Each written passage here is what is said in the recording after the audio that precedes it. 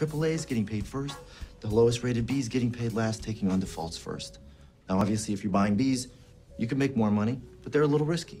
Sometimes they fail. Chris? Somewhere along the line, these B's and double B's went from a little risky to dog shit. Where's the trash? Behind you. I'm talking rock bottom FICO scores. No income verification. Adjustable rates, dog shit. The default rates are already up from 1% to 4%, fellas. And if they rise to 8%, and they will, a lot of these triple Bs are going to zero too.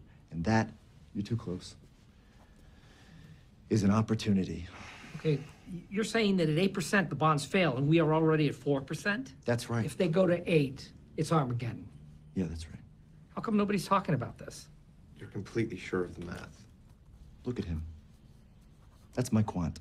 You're what? My quantitative. My math specialist. Look at him. You notice anything different about him? Look at his face. That's pretty racist. Look at his eyes. I'll give you a hint. His name's Yang. He won a national math competition in China.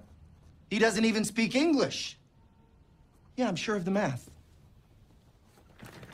Actually, my name's Jiang, and I do speak English.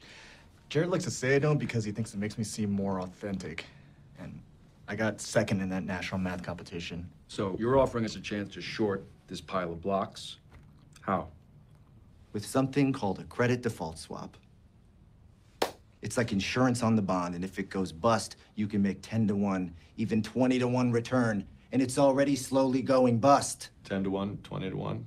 No way. And no one's paying attention.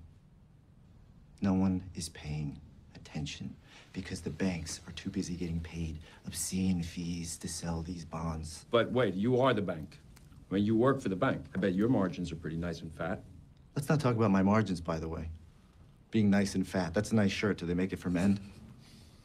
Aren't you the bank? I work for the bank. I don't think like a bank. Big bank, small bank, I like to make money. All right? Let me put it this way I'm standing in front of a burning house, and I'm offering you fire insurance on it.